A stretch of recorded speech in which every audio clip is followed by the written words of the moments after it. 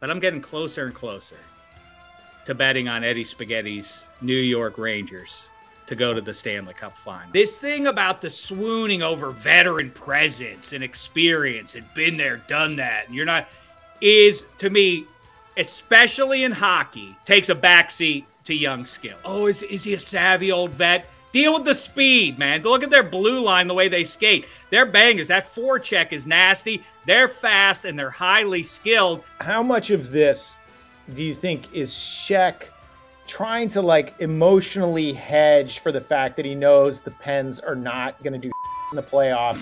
So he's trying to make it okay by um, falling in love with your Rangers. Not so long ago, you were saying like you you were making fun of me for picking the Rangers in a series versus the Penguins, and now you're changing tune to like they're gonna win the cup. To me, it's it's a very jarring. I didn't say they're gonna win the Wait. cup. I said go to the final. What I will say about the team is like I I look they have the arguably the best goaltender in the game right now. They have uh, a guy who's having a, a 50 goal season. They have Panarin's gonna hit 100 points. 17 of the 25 uh, skaters this season have tied or surpassed their career high in goals, assists, or points. So like every single player is contributing in one phase or the other. Obviously, you have the Norris Trophy winner last year, Adam Fox. The big but is that besides the two juggernauts, I think out west.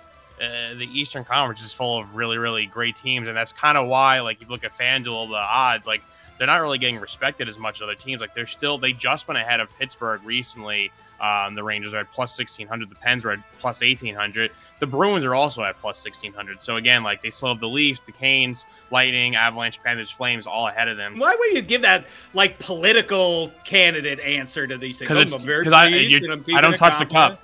The rule is don't no, touch the I, cup. The reality is all our teams could lose to the Leafs. All our teams could lose to the Canes. All our teams could lose to the Panthers. Like the East is just and no one even is talking about the two-time defending cup champions like it's it's insane how loaded the, the east is how deep it is compared to what we assume will be an, an avalanche flames final out west